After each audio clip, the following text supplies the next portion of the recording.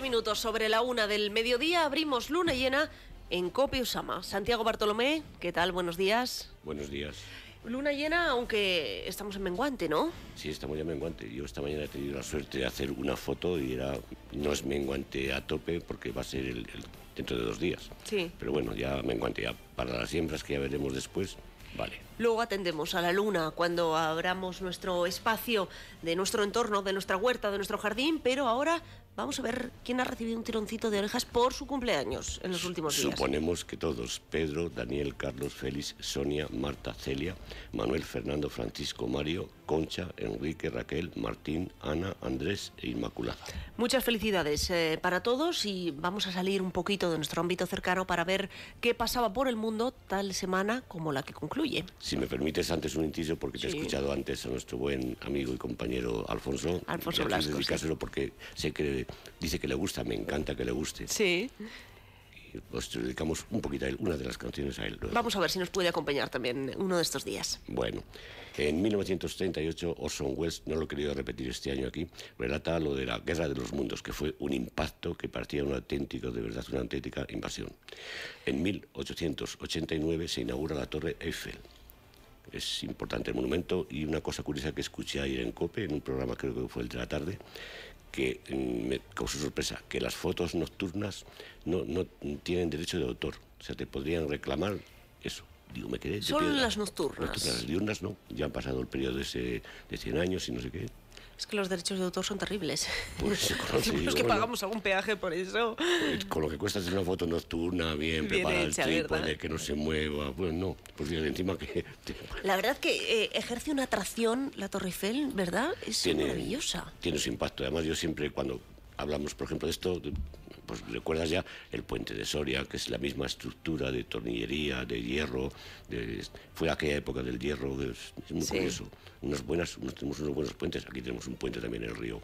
El puente de hierro se llama el puente de hierro, que iba todo remaches. Sí. Qué paciencia. Y, y qué remaches. Sí, eso ya lo estudiamos en los libros de arte también, por ejemplo, la Torre Eiffel. Así que, eh, no sé, Santiago, si hay alguna página especial en la que has consultado alguna página en la que podamos Sí, obtener siempre ya curiosidades. cuando ves el tema dices, hombre, voy a ver, y ves, tienes, tienes de todo, hasta la visión interna, hoy día está todo ya, da, da gusto. Y no hace falta ser un genio en internet, simplemente poner Torre Eiffel y entras ahí directamente, te pone precios, teléfono para contactar, todo lo que quieras. Pues Y- inauguró Y sobre en el- todo las dimensiones, Sí. que fue la época de la Expo en 1889.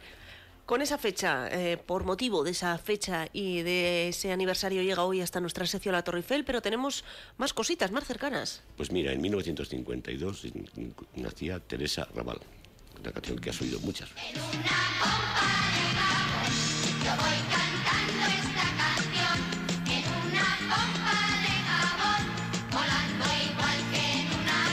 Gente esta sintonía de Venezuela No me acuerdo de esta sintonía, Santiago. Sí, pues, de Teresa la, Raval la sí, pero tele, esta- la tele mucho, mucho, mucho. ¿eh? ¿Sí? Sí.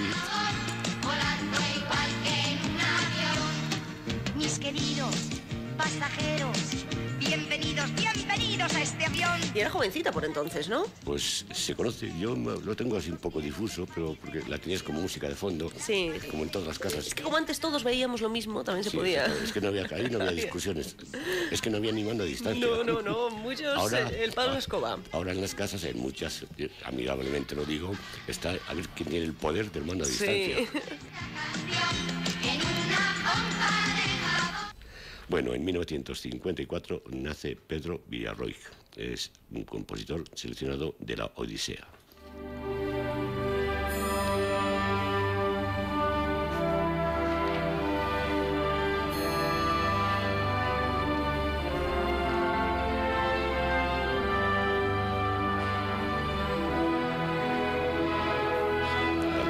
Fondo para cualquier película, ¿verdad? El título puesto en a propósito, ¿no? Bueno, me imagino que por eso sí. precisamente.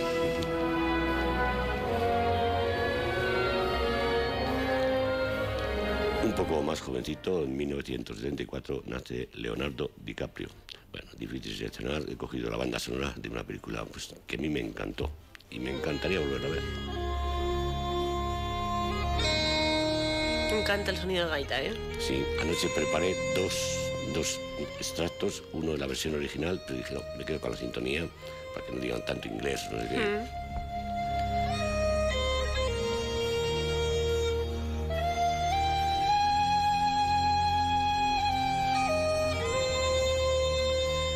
En 1971 nace Neil Young, el seleccionado un poco más movido, Inconcert.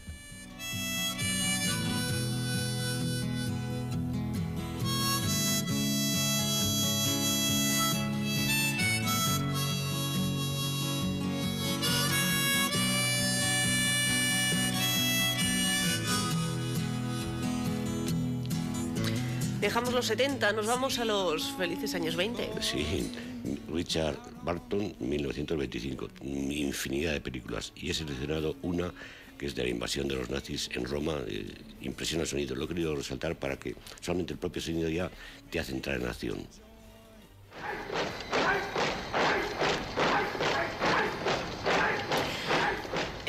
Santiago, vamos a aprovechar esta sintonía que nos pones de masacre en Roma de una guerra. No sé si has visto, está circulando por el Facebook, sin ir más lejos, en el Facebook de la mañana de COPE, un vídeo terrible sobre la guerra de Siria. ¿Has tenido oportunidad de verlo? No he querido verlo.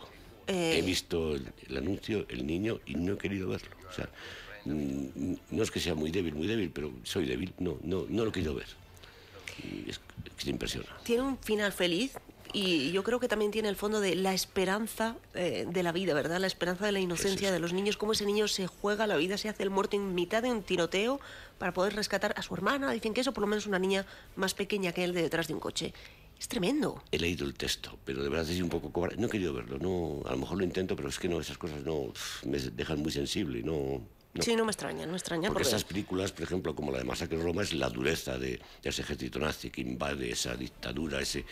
Bueno, las pisadas de los, del ejército ya te sobrecogen. Sí. Y encima, como estamos en la época de recordar lo del muro de Berlín, Sí. en fin, venían en contexto. Pero estamos viviendo una época tan convulsa que decía Javi Nieves esta mañana en COPE incluso, mm, refresquenme la memoria de qué pasa en Siria, porque tenemos tantos frentes que ya vamos pasando página, pero es que siguen como estaban hace unos meses o peor. Bueno, yo no sé, indudablemente peor. no sé si las naciones lo están haciendo bien o mal, No. no. lo sé, no lo sé. A lo mejor yo no estoy en contra de las guerras, como todo el mundo en general, pero a lo mejor hay que, es que estar ahí a pie, claro, es muy complicado, ¿no? Pero Pero algo habrá que hacer. que te o pones sea, triste. No sumar más violencia a la violencia, pero alguien tendrá que parar esto. ya ¿no? el otro día, ayer tres más, y Claro. es que dices, bueno, esto, ¿dó- ¿dónde vamos? ¿Qué hay que hacer? No lo sé, no lo mereceremos. Eh, sí, vamos a dejar los años 20 y la situación actual que vivimos para ir con un, yo digo joven, pero bueno, lleva cumpliendo añitos, ¿eh? Pero este chico es muy listo. Juan José Ballesta es en la película de, de, la- de ladrones, simplemente que hay dos, dos el actor y la actriz, y le quiere enseñar cómo se roba, en fin, está- casi está de moda, pero bueno, lo he sacado.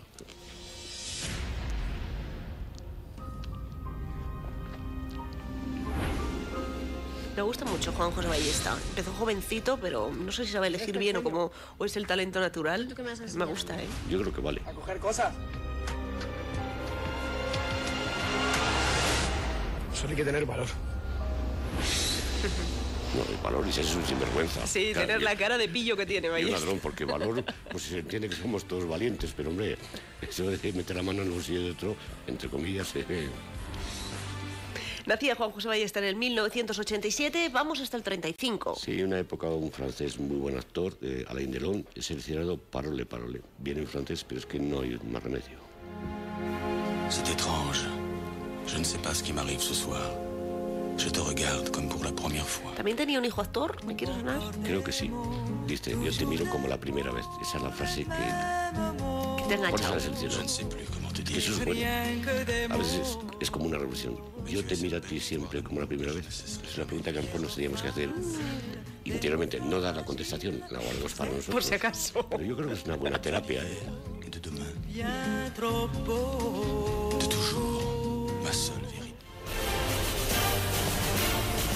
Con música francesa llegamos al punto y seguido en nuestro tiempo de luna llena. Vamos a ver qué tenemos en el huerto, en el jardín, sobre todo en el campo, porque la micología está espectacular, Santiago. Yo antes quiero decir una cosa. Dime. Yo solo soy un buen aficionado a la micología. No mucho. Es que la gente me abraza preguntas, cosa que me encanta. Digo, bueno, yo ya lo consultaré. Me, me llevan estas edades, ¿cuáles? Digo, pues así, este aspecto, tal. Entonces, claro, yo hago mis esfuerzos, pero yo de verdad cada vez, no sé, tendré que intentar en, en altos estados aquí en este, en, esta- en este municipio, en la comarca, volver a intentar hacer algún cursillo, que es que yo creo que sería muy, muy bien recibido, ¿eh? Sí, Eh, para evitar algún problema, porque aquí, gracias a Dios, no tenemos problemas. somos prudentes, ¿eh? Eh, prudente, sí, sí, porque mira, lo que no sepas no lo cojas. Y si es blanco por debajo, menos. A mí lo que me está pasando este año, Santiago, es que veo muchísima variedad. Y no creo que sea porque vaya más atenta, sino porque quizá nuestros bosques también están ganando en riqueza micológica. Pues- Eh, veo setas que no había visto nunca, y muchas. Pues puede ser, pero yo, yo casi te llevaría a la contraria, porque yo este año, como me gusta hacer fotografías, Sí. no creas que encuentro la variedad que he encontrado otros años. ¿eh? ¿Sí? O sea, hay mucha cantidad, mucha. Y luego he echado de menos en algunos sitios que no salen este año. Es algo curioso. Yo, por ejemplo, pues me sé, como todo el mundo, tu, Tu sendero sitio, preferido, claro. tu sitio. Y dices, oye, decía mi mujer el otro día, si aquí no ha salido ninguna año, ¿te has fijado? Y es verdad. Y no ha habido salvajismo ahí, porque las setas, no, gracias a Dios, pues no hay que con rastrillo. sí. Esa es la única ventaja que tenemos. Y, y- y- y- y de hierba hay poca. Digo, ¿por qué no salen este año ahí? Que siempre vas al corrillo a ver. Oye, te había apuntado yo una cosa eh, que me cuentas, recoger esporas. A ver, eh, creo que nos lo contaste, si no el año pasado, Sí. hace dos, el método para recoger Dos esporas. Pues es solamente como atractivo para tu cultura, luego tienes ya tienes, hoy tío, con internet, en la biblioteca tienes medios para localizar. La espora es como, como el, el ADN de, de- de- una seta. Entonces, el método es muy sencillo. Te hace falta simplemente el acetato, que es como un folio transparente. Sí. Lo digo porque no es muy caro y te vale para ver las setas. Entonces tú cortas la seta por el pie y la apoyas. Generalmente su- sueles usar una caja de cartón vacía Sí. para que no le moleste el aire ni nada. Y tú colocas la seta en posición normal. Cuando puedes hacer pruebas, si levantas a las dos horas ya tienes una serie de manchas. Si la dejas toda la noche, al día siguiente está todo el rosetón. De verdad, y ves, ves el color, ves la masa de esporas. Entonces tú cualquier libro un poco técnico que tengas de, de micología, de setas, te dicen esporada de color verde oliváceo. Ajá. O sea, Por ejemplo, sirve para estudiarlas. para estudiarlas y en tú imagínate que un día de ti dependiese el que te envenenas o no, solamente de, dices, por lo menos mira, pues masa esporada verde, pues mira, ya no, no es la peligrosa. Encima es, además en un microscopio no muy potente se ve la espora. El boleto es masa esporada verde y es un poco a la elíptica, no redonda. En cambio otras son distintas. Son muy bonitas las de los champiñones, las de la seta de cardo, se quedan como radios. O sea, los, los de los boletos se ve como si fuese esponjita. O sea, es, Es es que es curioso, bonito, es como bonito, curioso. sí. Nosotros lo hemos hecho con los chicos en el instituto, pero es una cosa muy educativa y bueno, eh, no, pues no pasa nada, es una época, pues bueno, no sales a tomar el sol, pues te tienes un- una caja de zapatos valdría para colocarlos. Esto en el campo, en la huerta, ¿qué tenemos que hacer con el Pues menguante? ya pensar que el menguante, este menguante es muy bueno este día siguiente para siembras. Estamos en San Martín, los primeras siembra de ajos, teóricamente en San Martín, aunque hay gente que dice que el mejor ajero en enero. Eso hay teorías, eso no lo sé, pero eso ¿Tú cada qué uno opinas? coge. Pues yo- ¿Tú cuándo lo haces? Yo, fíjate que los- yo me gusta más poner ajetes que ajo, porque es- da Lo más gastas calidad en el mejor, producto. sí. Entonces, en el primer menguante de agosto es cuando pongo la primera tanda de ajetes. Ya estoy comiendo perfectamente y es una gozada. ¿Qué ocurre? Que para ciertos, una sopa castellana hace falta ajo duro, hecho. Hmm. Sale muy bien en enero. En febrero salen bien. Hay gente que dice, y en marzo salen bien. Y en abril ya, en vez de salir un diente, sale una bola. Sí, Le llaman ajas. sí. Teorías, lo que hay que hacer es tener la suerte de cuando tú lo pones que no peguen hielos potentes, que no haya helado antes, porque lo comentamos una vez, no sé si lo recordarás, Sí. que cuando tú, si estaba el suelo helado debajo, aunque hagas tú el pozo bien hecho, lo colocas y el propio hielo te lo tira para arriba. ¿Eh? Ojo, eso hay Hmm. Pero que diste un cuidado. truco también, Santiago. ¿Cuál es el truco para que no tirara para Pues arriba? no, no recuerdo el truco que era, no, no. O sea, que no plantarlo directamente. no, no, yo creo que si tú ves que al lado, que esto no, no meta la pala de corte, ya, ya se hará. ¿Qué recoges del huerto esta semana? Pues yo esta semana empezamos a coger ahora las espinacas, borrajas. Es que ahora yo tengo la huerta de otoño para Qué recoger. bien. No cantidad, pero lo que usas durante el O invierno. sea que ahora mismo te vas a comer verdura, ¿no? Pues hoy tengo verduras, sí, pero vamos, que también hay que comer otras cosas. Santiago, que aproveche ustedes también a las 2 y 20. Agustín del Pino con la información.